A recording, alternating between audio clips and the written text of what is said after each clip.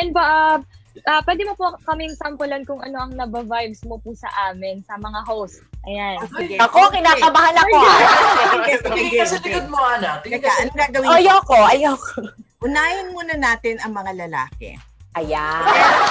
Si Aries. So, bakit nang, nang bababae po yung mga lalaki? Malalaman po. Actually, yes, yes. Ay, Kaya lang kasi, since we are educated, we have breeding, you don't just say to a person ng bababae ka na lalaki ka. You, you, nakikita eh, you let them open up. Kasi yun yung tama. May respeto ka. At saka halimbawa ang isang lala, ang babae, nag, nangihinala, tapos sasabihin gusto niya malaman na saan ang, ang kabit ng kanyang asawa. No? Ay, nako! Yeah, nako. you don't just say it. Nakakaloka. Stargazer, simulan niyo na po si Aries. Nakabala ko? Okay.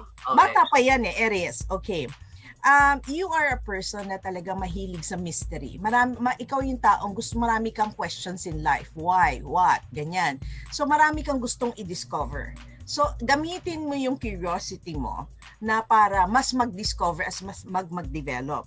This year is a perfect year para mag-aral ka o mag-reinvent yourself kailangan may matutunan kang bagong skill na para i-augment yan sa present mo. Huwag ka mag-stagnate. Okay? So you are good where you are, but you have to prepare itong coming na year na to at saka next year, eto kailangan nagpe-prepare ka, nag-aaral ka. Para next year, makuha mo yung goal mo na success. Kasi you have to learn something now. It's a uh, stepping stone para sa success. Now si JM is also very, very uh, matagal magdesisyon si JM Okay? May, may tendency siya nag-fickle-minded. Medyo, ito ba, ito ba, na, nalilito. But this year, you have to grab what is there. You will find yourself doing things na hindi mo inaakala gagawin mo. Go for it. Huwag kang matatakot kasi it's a time for change. This is a time to go up from now this year is going up. Okay? Ah. Now, Elaine, Elaine, I like Elaine. Elaine has always been very, very blessed. Elaine, alam mo yan sa buhay mo. Even if marami kang pinagdaanan, but it seems that always may sumasalo. Meron laging solusyon. Now, this year, you have to pray more because you might have some challenges na ang solusyon ay dasal at saka positivity. So alam ko this uh, this year magkakaroon ka ng mga crossroads din, ha?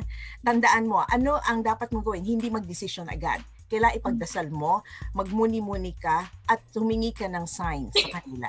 Okay. Uh, alam ko may pagdadaanan o may pinagdadaanan ka na gusto mong tama ang direksyon mo.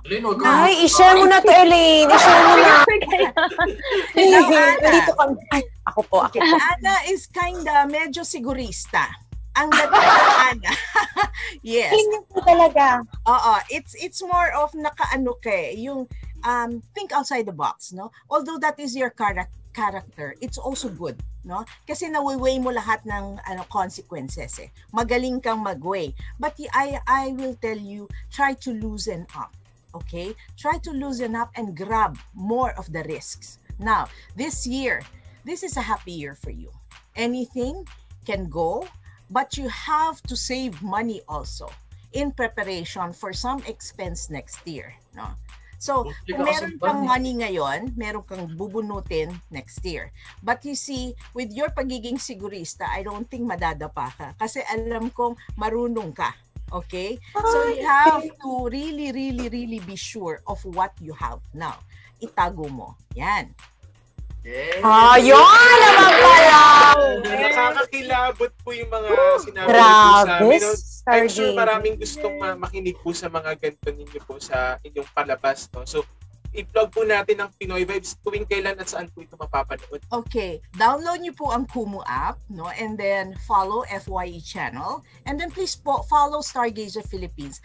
Alam niyo po, namimigay po ako ng bracelets doon kasi I really wanted to give people yung something na magpapaswerte for protection.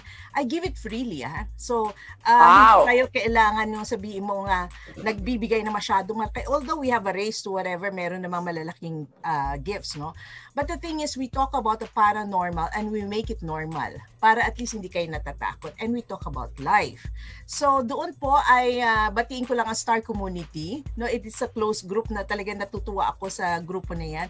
Uh, we are running on 15k views every every time that we air. Sana po madagdagan. Yan po, sana po madagdagan. Saka nilalagay natin sa tamang perspective ang paranormal. It's a more educated, more ethical, at saka more practical. Yan. Yung para hindi po kayo natatakot. Linggo po, sa linggo, alas 8 hanggang alas 11 ng gabi sa FYE channel ng Kumu. So I also have an account, Stargazer Philippines po. Isa lang tandaan nyo, YouTube, FB page, at saka sa Kumu, Stargazer Philippines. Alright.